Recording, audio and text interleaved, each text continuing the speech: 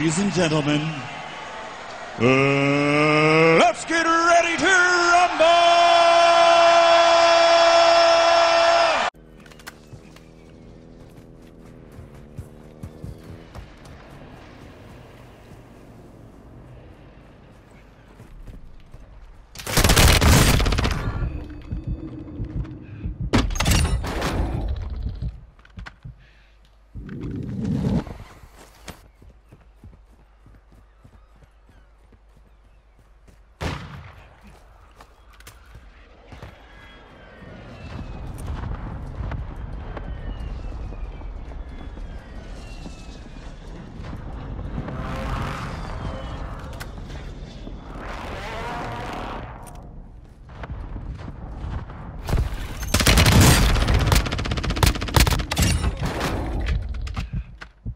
Et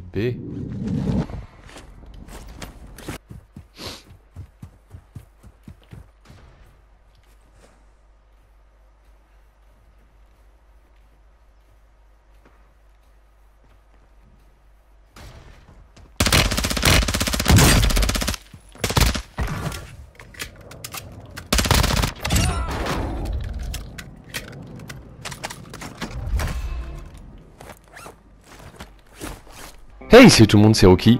Aujourd'hui, euh, petite vidéo sur la VEL 46, qui est une mitraillette qui ressemble énormément à la MP7 de Modern Warfare, ou bien même à la Milano de euh, Cold War. Donc, quasiment pas de recul. En revanche, en termes de dégâts, on peut comparer ça à un pistolet à billes quand même. Donc, dans les vidéos que vous avez vues juste avant, la classe que j'utilise, c'est la suivante. Pour le contrôle du recul, on va utiliser vraiment la poignée qui permet euh, le meilleur équilibre entre contrôle du recul et mobilité. Pour moi, c'est la poignée phase 3 avec un ajustement qui est le suivant contrôle de situation du viseur et stabilisation du recul au maximum.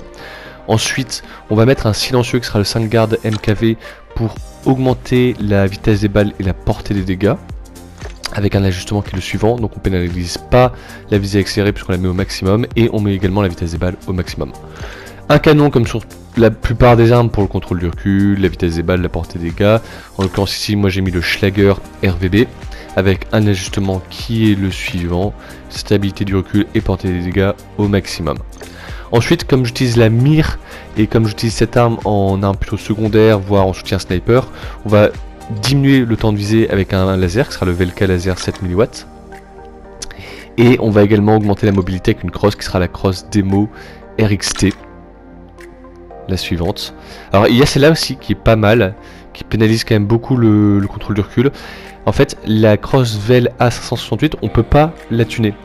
Euh, alors que celle-là, la Cross euh, Demo RXT, on peut la tuner, c'est pour ça que je l'ai prise, avec du coup un, bah, euh, un ajustement qui est le suivant, donc visée accélérée et vitesse de marche en visant au maximum.